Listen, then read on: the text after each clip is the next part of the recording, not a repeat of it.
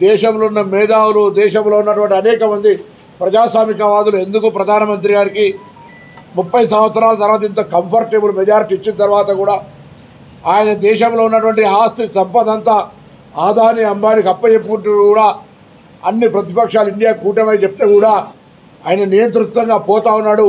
ఎందుకు ఇంత మొండిగా అబ్కి బార్ చార్సో అంటుండని అనేకమైనటువంటి విశ్లేషణలు చర్చలు జరిగితే అందులో నుంచి వచ్చినటువంటి అంశం ఏంటంటే ప్రధానమంత్రి గారు నాలుగు వందల సీట్లు గెలిచినట్టయితే రాజ్యాంగాన్ని మార్చి ఏ డాక్టర్ బాబాసాహెబ్ అంబేద్కర్ గారు రచించారో ఆ రాజ్యాంగ మార్పు ద్వారా ఇప్పుడు అనుభవిస్తున్నటువంటి ఎస్సీ ఎస్టీ బీసీల రిజర్వేషన్లు తొలగించవచ్చు.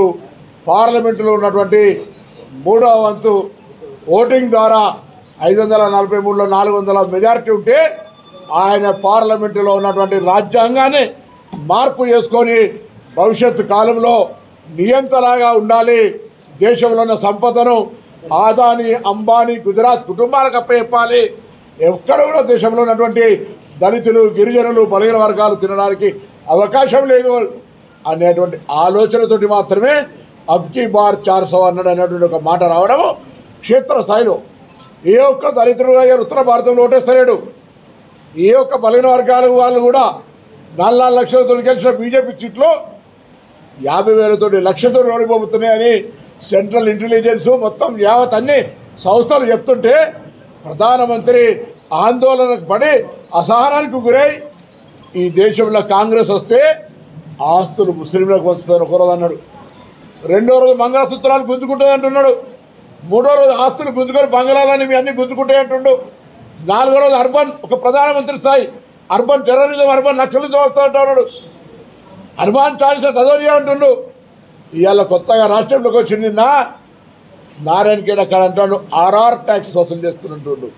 ప్రధానమంత్రి స్థాయికి ఇక్కడి దాకా దిగజారిపోయిన ఆఖరికి మామూలు మూడు మూడు సార్లు ఓడిపోయిన కార్పొరేటరో వార్డు మెంబరో కూడా అటువంటి మాటలు మాట్లాడాడు. అక్కడ దిగజారిపోయింది ఇవాళ ప్రధానమంత్రి. మేము అడుగుతా ఉన్నాం ఈ దేశంలోని మొత్తం యావత్ సంపద పదకొండు లక్షల కోట్ల రూపాయల సంపద ఎల్ఐసితో సహా బిఎస్ఎన్ఎల్తో సహా ఎయిర్పోర్టులతో సహా పోర్టులతో సహా Adani Ambani A plus A. ఇద్దరికి అప్పచెప్పిన మాట వాస్తవం కాదా అని అడుగుతా ఉన్నాం ఇవాళ. ఇది విధంగానే మీరు అడగలే ఇదనులే మాట్లాడుతూ ఉన్నారు. నేను అడుగుతాను ఇలా భారతీయ జనతా పార్టీ ఒక్క సీటు గెలిచిన భవిష్యత్తు కాలంలో ఎస్సీ ఎస్టీ బీసీ రిజర్వేషన్లు ఉన్నాయి ఉంటాయని చెప్పే ధైర్యం. ఇప్పుడు పోటీ చేస్తున్న బీజేపీ అభ్యర్థులకు ఉందా? నేను అటుగా చెప్తానే ఆనాడు మండల్ కమిషన్ తెస్తే అద్వానీ గారు కమండల్ యాత్ర పెట్టి దేశం మొత్తం అల్లకల్లోలం చేసి మండల కమిషన్ అమలు కాకుండా చేసినాడా లేదా? అదేవిధంగా ఆర్ఎస్ఎస్ చీఫ్ మోహన్ భగవత్ గారు ఈ దేశంలో రిజర్వేషన్ రహిత భారతదేశానికి తీసుకొస్తామని చెప్పిండా లేదా? మొన్నటికి మొన్న రాహుల్ గాంధీ గారి దేశంలో ఎవరు ఎంతున్నారో వారికంతా దిద్దిన ఆబాది ఉత్తర ఇచ్చాదారి అంటే ఆ కులగణనకు సంబంధించి కేంద్ర ప్రభుత్వం భారతీయ జనతా పార్టీ నాయకత్వంలో ఉన్న ప్రభుత్వం సుప్రీంకోర్టులో అఫిడవిట్ ఇచ్చినటువంటి మాట రిజర్వేషన్ కులగణన సర్వేకు వ్యతిరేకంగా అఫిడవిట్ ఇచ్చినటువంటి మాట వాస్తవం కాదా అని అడుగుతా ఉన్నాం. ఎలా అమిత్ షా? ఇంకొకరు ఇంకొకరు ఏం మాట్లాడినా ఈవెన్ మన పార్లమెంట్ సభ్యుడు బండి సంజయ్ కూడా రిజర్వేషన్ దళితుల యొక్క రిజర్వేషన్ పొందే విధానాన్ని అవమానపరిచినటువంటి మాటలు మాట్లాడింది వాస్తవం కాదా? ఇలా వీళ్ళు ఏం సామాజిక ఫ్యూడల్ పార్టీ వ్యాపారస్తుల పార్టీ. ఒక ఫ్యూడలిస్టుకు రిజర్వేషన్ ఉండడం వల్ల ఇప్పుడు దాదాపు రాష్ట్ర దేశం మొత్తంలో కొన్ని ముప్పై నలభై లక్షల ఖాళీలు ఉంటే కూడా ఉద్యోగ నియామకాలు చేపడతలేదు. ఎందుకంటే అందులో రిజర్వేషన్ల వాళ్ళు వస్తారని.